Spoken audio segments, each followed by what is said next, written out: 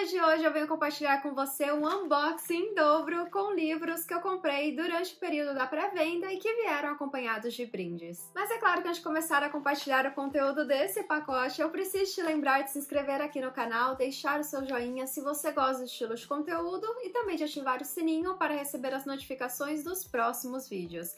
Agora, se você quiser acompanhar mais do meu dia a dia, coisas pontuais que eu não consigo compartilhar muito por aqui, você pode me seguir lá no Insta, porque lá eu estou compartilhando esse tipo de conteúdo, principalmente agora que eu estou trabalhando 100% de casa. E chegou o momento de abrir esse pacote para que eu possa compartilhar com você quais foram as minhas escolhas de livros que serão lidos nessas próximas semanas.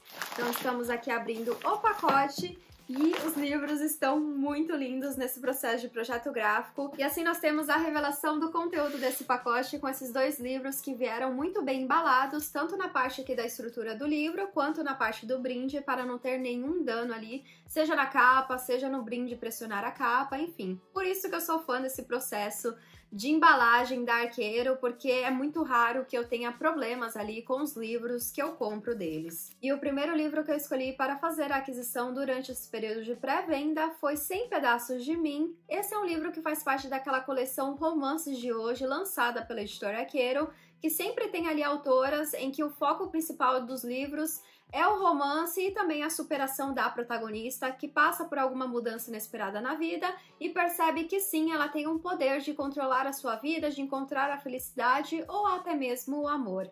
Então esse é um livro que eu fiz a escolha porque eu gostei muito da sinopse dele, da premissa, e ele veio aqui com esse brinde que são na verdade, né, dois marcadores. E o diferencial desses dois marcadores é que de um lado você tem a ilustração de um cachorro e o título do livro e do outro lado o foco é mais no título do livro sempre brincando aqui com a paleta de cores que foi escolhida durante esse projeto gráfico do livro. Mas são marcadores bem bonitos e é o que eu falo sempre quando eu faço unboxing aqui de outros kits especiais lançados por outras editoras, em que sim é possível fazer marcadores bonitos, de qualidade, e Arqueiro sempre traz esse exemplo aqui de marcadores com qualidade, com um bom projeto gráfico e que podem ser né, replicados em outros kits especiais de outras editoras. Inclusive, tem uns que não tem nem ilustração na parte de trás.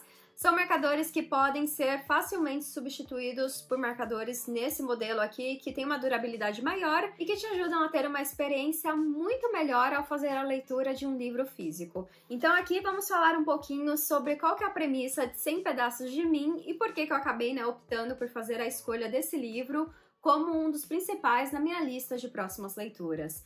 Depois de um fim de relacionamento difícil, Dina ainda está tentando se recuperar e descobrir como ser feliz sozinha. De repente, ela se dá conta de que os objetos aos quais deu valor por tanto tempo simplesmente não se encaixam mais em sua nova vida. Determinada a recomeçar do zero, ela decide se livrar de todas as coisas materiais, exceto as 100 que considerar imprescindíveis. Mas o que vale a pena preservar? As cartas do único homem que ela já amou? Uma lembrança do pai que nunca conheceu, ou um vaso de vidro azul que capta perfeitamente a luz do sol entrando pela janela, mesmo nos dias mais cinzentos. À medida que deixa o passado para trás, Gina relembra tudo de bom que já lhe aconteceu e também se reconcilia com as coisas ruins. Durante esse ritual de autoconhecimento, ela descobre que todos os dias tem algo para ser aproveitado, e quando decide fazer exatamente isso, abre espaço para que o melhor da vida aconteça. Esse é um livro que me lembrou muito a premissa de minimalismo, de ser uma pessoa minimalista, não nesse ponto de ter poucas coisas, mas ter coisas que realmente importam na sua vida, que contribuem para que você encontre a felicidade, né? Às vezes a felicidade ela está nas coisas mais simples e trazendo um pouquinho da minha experiência nesse processo de pensamento minimalista, as pessoas levam muito pro extremo de eu só posso ter uma única coisa daquele único item. Não, o minimalismo ele é voltado exatamente para você ter aquilo que você acha essencial para você viver uma vida feliz ter uma vida feliz.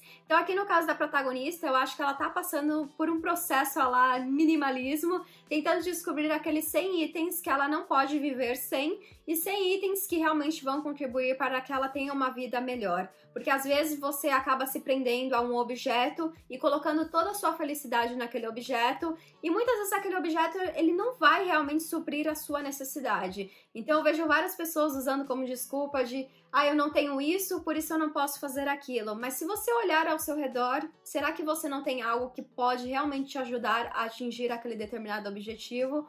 Por isso eu fiz a escolha desse livro, porque ele tem essa premissa de minimalismo e eu quero ver muito essa jornada de transformação da protagonista. E é exatamente por isso que eu tenho altas expectativas em relação a essa história. Espero não me decepcionar com essa premissa. E o meu lado jornalístico já está curioso para tentar descobrir aqui como a autora vai abordar todo esse processo de desapego da protagonista em relação aos objetos que ela colocou toda a felicidade e como isso vai contribuir para o desenvolvimento dessa história.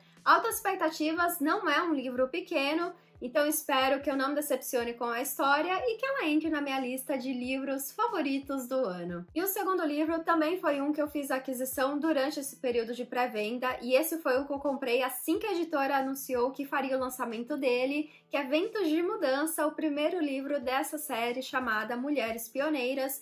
E é um livro que vem com uma premissa tão boa, principalmente se você gosta de romance, que eu coloquei ele já como prioridade na minha lista de próximas leituras, até porque ele não é um livro tão grande, mas só pelo fato aqui, né, da história ter uma premissa que me fez assim sentir algo, eu já criei altas expectativas para essa história. Inclusive, ele vem aqui com uma citação que foi a citação que também contribuiu muito para que eu fizesse a aquisição dele, assim que eu vi o anúncio nas redes sociais, que foi se você ainda não conhece o trabalho dessa autora, precisa conhecer imediatamente. E aí eu fui olhar vários comentários de outros leitores que estavam falando: nossa, ainda bem, finalmente vocês estão trazendo o trabalho dessa autora para o Brasil. E aí eu tive minhas expectativas ainda mais altas e espero realmente não me decepcionar com nada, porque eu diria que dos dois livros que eu citei aqui, esse é um livro que eu estou com muitas expectativas. Então vamos falar um pouquinho sobre a premissa dessa história.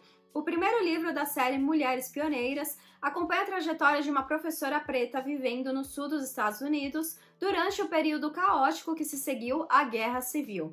A missão de Valinda na agitada e quente Nova Orleans é ajudar a comunidade de ex-escravizados a sobreviver e progredir através do estudo. Só que em pouco tempo ela descobre que, ali, a liberdade também pode ser sinônimo de perigo. Quando bandidos supremacistas destroem a escola que ela montou e tentam atacá-la, Valinda corre para salvar a própria vida e vai parar nos braços do heróico Capitão Drake. Arquiteto nascido em uma família tradicional de Nova Orleans, Drake tem um profundo interesse pessoal na reconstrução da cidade. Criado por mulheres fortes, ele logo é conquistado pela determinação de Valinda e não consegue parar de admirá-la nem de desejá-la. E quando o pai de Val exige que ela volte para casa em outro estado para se casar com um homem que ela não ama, seu espírito indomável atrairá Drake para uma disputa irresistível.